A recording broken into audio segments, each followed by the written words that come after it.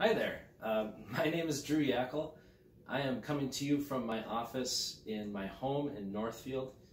And um, just for this video, I wanted to share one thing that's in my office, um, kind of as an introduction. Um, and that would be this very large map behind me. Um, it's Earth Day today when I'm filming this. And um, I just wanted to show you this map because today is, as I said, Earth Day. And this is a place that I like to come to when um, I need some kind of orientation. Um, I love to travel, and I uh, I love to come here and look at this map and imagine and dream about what the next place I might be able to visit would be. Um, this this map is kind of special because my grandpa gave it to me. Um, it's a little out of date. there's mention of the Union of Soviet Socialist Republics.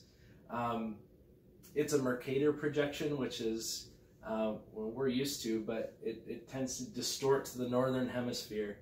Um, uh, and there are kind of socio-political, historical reasons for that. Um, so it's not the ideal tool, but um, I find it helpful for me uh, as a kind of a grounding and an orientation to remind myself that I'm part of the world. You are part of the world. We exist here together.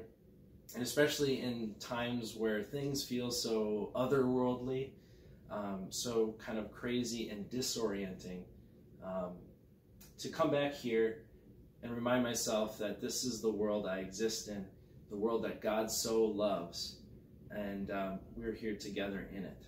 So another thing that grounds and orients me is a sense of humor. So I'm I'm uh, grateful to be a part of this email newsletter. Seriously, um, and hopefully you can scroll down and find a couple things that might give you a laugh maybe even something that's useful too. So I hope to see some of you in person soon.